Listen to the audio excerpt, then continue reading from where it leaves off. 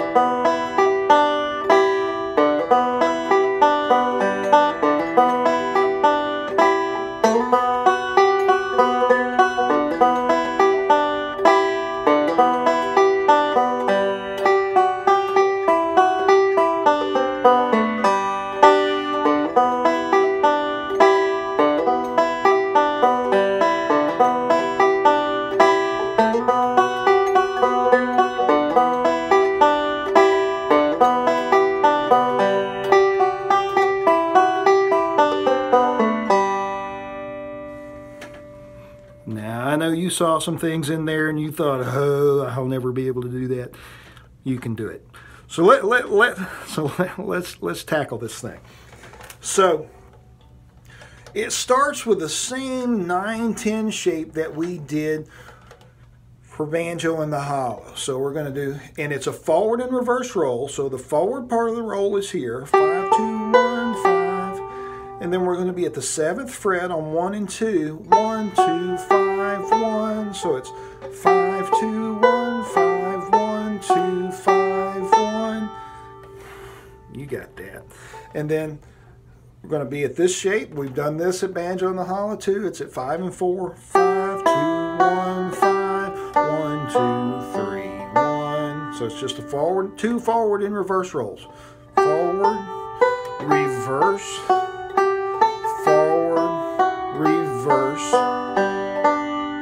and then you're going to get a C chord. Uh, let's see, there it is. Five, two, one, five, one, two, three, one. So you've got that. Then an A chord. All you need is the first three strings. You can hold all four. I think I did there in my demo right about where I almost messed up. so it's just, and here's, so this is going to be a little different. We're going to three, two, and then we're going to get a D chord. Now, I don't know if we've done a D chord or not, but if we haven't, here it is. So, index on the third string, second fret, middle, second string, third fret, ring finger, first string, fourth fret. And you're, and really all you need is those, but I like to hold all three. And you're just going to pinch one and two, and then hit your fourth string. So it's so that sounds like. And that repeats.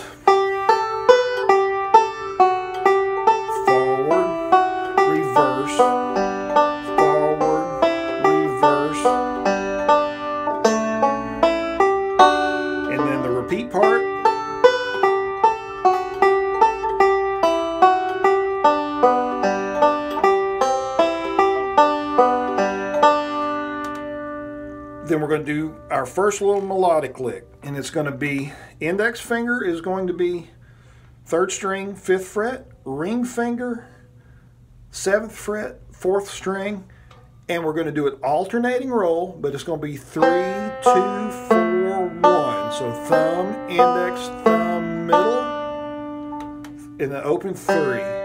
Pinch. So that gives you both parts. Reverse. Forward, reverse. Forward. Then it repeats.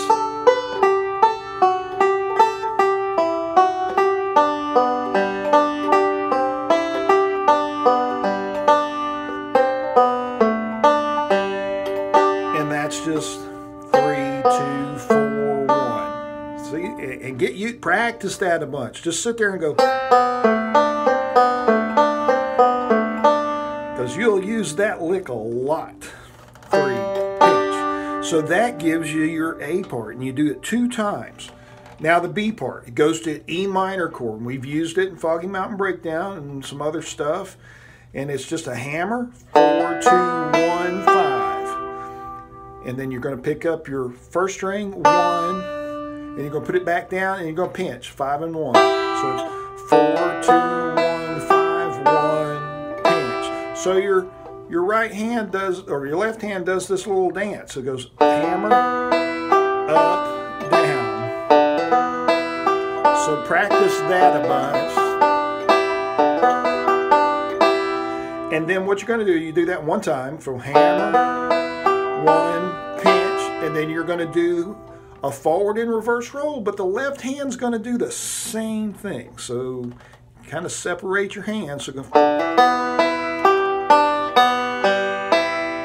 so four, two, one, five, one, two, three, one. Notice how that one goes back down.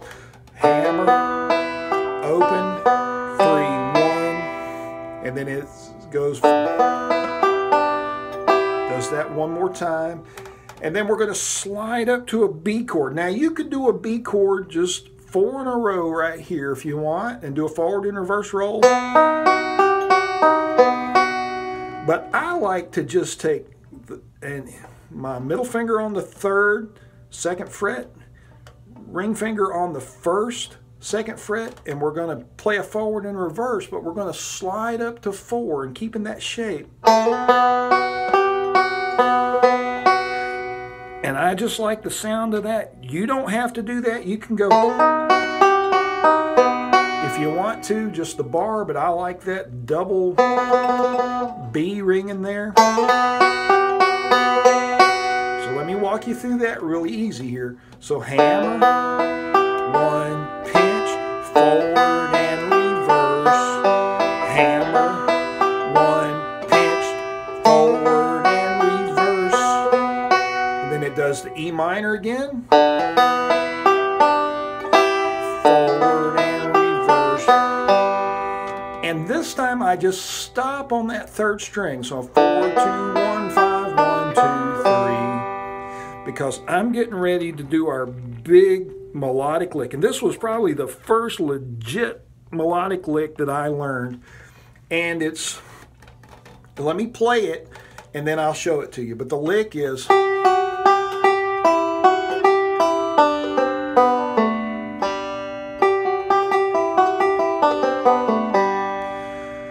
So what you're going to do, index, fifth fret, first string, ring finger, second string, seventh fret, and it's five, two, one. So just do that, five, two, one, and then you're going to go to this shape that we've used in banjo and the holla. It's five and four, five, two, one. So five, two, one, five, two, one, five, two, one. So in the, uh, we're just going to pick that finger up. So five, two, one, five, two, one. Pick this finger up.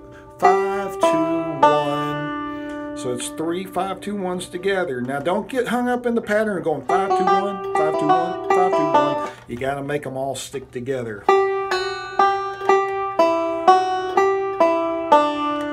And now we just need a couple more notes.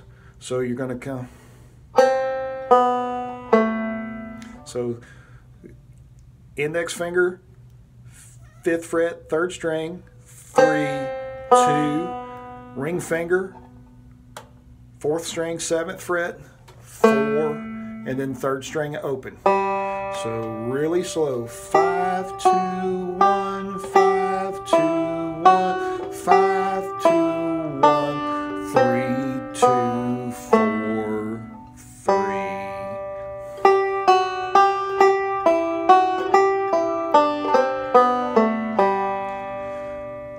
whole E minor part repeats again. So let me go through the whole thing, both parts, a little more tempo.